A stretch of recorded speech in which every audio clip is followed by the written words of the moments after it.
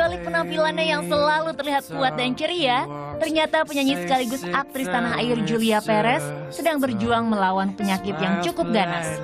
Meskipun dirinya sudah cukup lama tidak banyak membagikan tentang penyakitnya tersebut, kemarin akhirnya ia angkat bicara melalui akun Twitternya di mana ia menulis, aku kanker serviks stadium 2A, besok operasi leher rahim, yakin sembuh atas izin Allah, berpikir positif, be happy, pray, itu obatnya.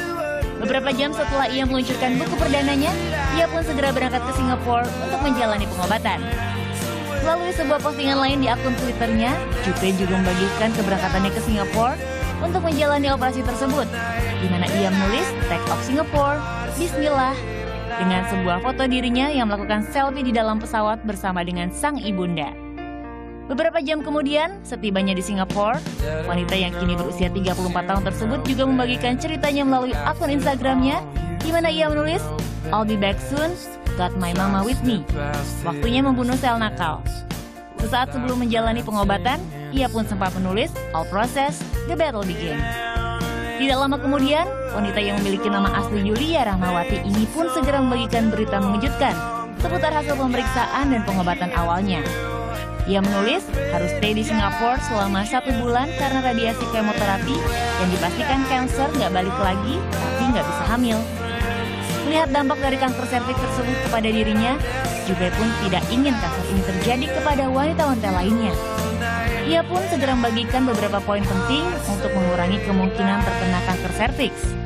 Di antaranya, ia menulis melakukan vaksinasi dengan vaksin HPV, pola hidup seksual yang sehat, tidak merokok, serta diet dan pola hidup sehat. Well, mari kita doakan semoga seluruh pengobatan serta treatment yang dijalani Jupe dapat berjalan dengan lancar, serta ia dapat kembali beraktivitas seperti semula ya good people.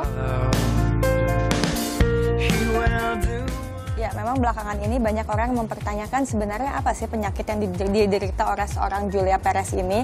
Dan memang eh, selama ini juga uh, Julia Perez juga tidak mengungkapkan apa penyakitnya.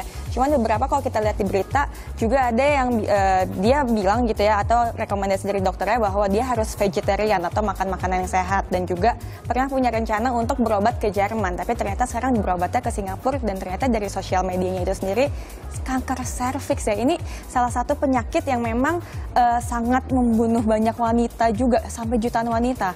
Kalau datanya dari Organisasi Kesehatan Dunia ya ini setiap satu jam sekali di Indonesia wanita itu meninggal karena penyakit ini kanker serviks yaitu kanker yang terjadi di mulut rahim wanita. Betul. Dan apa yang dibilang sama Gista tadi pun juga semakin mendorong ya bagi ya. anda nih para wanita untuk bisa berantisipasi daripada apa pun yang terjadi Betul. hal yang nggak baik kita nggak mau dong, oke? Okay? Ya. But I do believe in miracle. Semoga itu pun yang terbaik juga buat Julia Perez.